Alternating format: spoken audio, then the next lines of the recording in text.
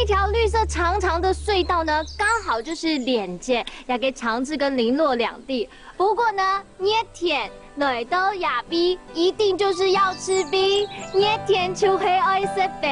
我要来去找找看林洛这边有没有给好吃个饼。绕了一会儿，终于找到了这间冰店，而且里面好多客人哦。我想他们都是和我一样来躲一下正中午的太阳。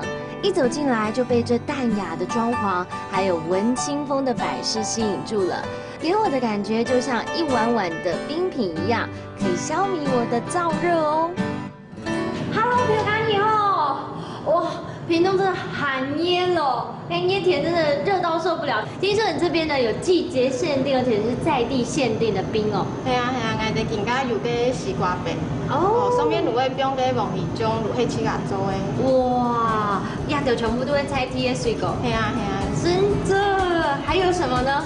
呃，更加还有个网诶板酸饼。板酸饼。底巴卤味冰嘅板酸浆同嘅布丁。哇。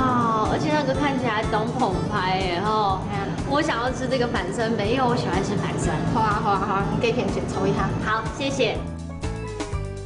原来这里的老板就是刚刚那位年轻的妹妹，而且菜单上一碗一碗不同的冰品都是她自己设计出来的，真劲喊腔哦。不过话说回来，我真的是很幸运，来到盛产水果的屏东，还能够找到一间全部都是在地水果的冰店。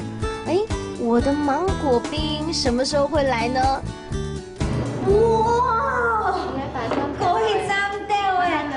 哇塞，这这也太厉害了吧！来到南部吃冰呢，就是要吃的这么豪爽。这个应该就是它芒果酱来的。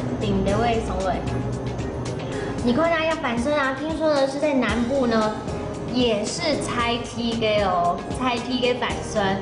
好，嗯，你也甜出黑黑色呗。而且来到南部呢，吃了这一大碗在地的芒果冰，哦，整个透心凉。我完全感受到了平东水果的魅力了，海量的芒果铺在冰上，真的是毫不手软。果然，甜甜就会爱吃饼。